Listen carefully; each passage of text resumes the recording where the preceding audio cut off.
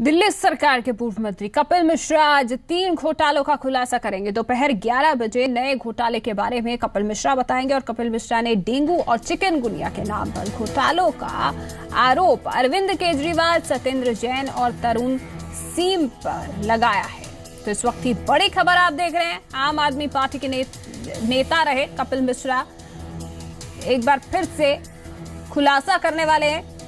ज़्यादा जानकारी के लिए हमारे साथ जी मीडिया संवाददाता नवजोत धालीवाल जुड़ चुके हैं। नवजोत तो एक बार फिर से खुलासों के साथ कपिल मिश्रा आज सामने होंगे मीडिया के।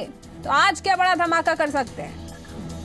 बिल्कुल, इंद्र, ये सूत्रों से जो खबर मिल रही है कि कपिल मिश्रा आज नए खुलासे करने जा रहे हैं, जिन्होंने पहले भी आम आदमी पार्टी के बारे में जो सरकार में मंत्री रह चुके हैं, उन्होंने बड़े खुलासे सरकार के लिए किए हैं, चाहे वो सत्येंद्र जैन के खिलाफ हो, चाहे वो अरविंद केजरीवाल के सांडू के खिलाफ हो, चाहे अरविंद केजरीवाल के खिलाफ हो, और पूरी आप इकाई के खिलाफ हो, आज जो नए खुलासे हैं, वो कर सकते हैं, उनकी हवाई टिकटों को लेकर कर सकते हैं, जो विदेश के दौरे हैं, उनको लेकर कर सकते हैं, मेडिकल के रूप में कर सकते हैं, ऐसे कुछ बड़े जो खुलासे हैं, वो कर सकते हैं। अभी ये सूत्रों से खबर आ रही है, लेकिन पूरे खुलासे क्या होंगे, पूरी बातचीत क्या होगी, वो उनके खुलासे करने के बाद ही सामने आ जाएगी बात।